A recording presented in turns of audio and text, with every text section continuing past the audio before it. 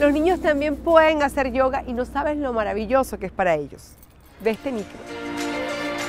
Eh, hay yoga para embarazadas, entonces desde que estás en el vientre tú les puedes dar eh, todo el afecto porque el yoga no es solamente corporal, el lazo que existe como madre hacia el hijo, eso ya es yoga.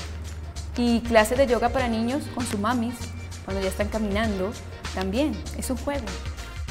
Yo tengo niños que tienen deficiencia corporal, tienen un problema, y los pongo a hacer yoga. Sé que lo que a ellos les cuesta y trato de motivarlos muchísimo más. ¿sí? A no ser que tenga una hernia, ¿sí? Eh, la, parte de la espalda es muy importante y en el yoga se moviliza mucho porque es nuestro eje central. Entonces, eh, tanto físico como energético. Entonces sí hay que tener más precaución y más cuidado, pero eso no quiere decir una limitante.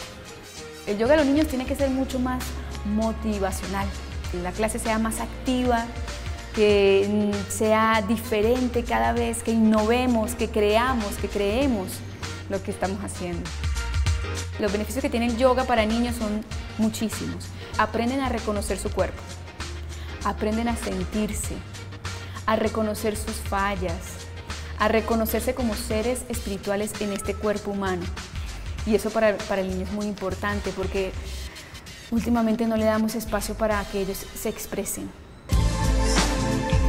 Los niños vienen naturalmente, son yogis, son yogis naturalmente. Tú ves a un bebé y tú le lo abres, lo vienes y el pie lo viene, lo pone por acá, por acá, por acá, por todos lados.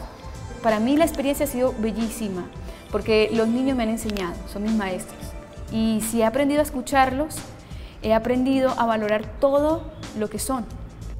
Mi recomendación final es que escuchemos a nuestros niños. Mientras más temprano un niño haga yoga, tendrá mejor calidad de vida y mayor control sobre sus emociones. Esto lo hará mucho más feliz desde su infancia hasta su madurez. Porque ya sabes, lo importante es saber vivir.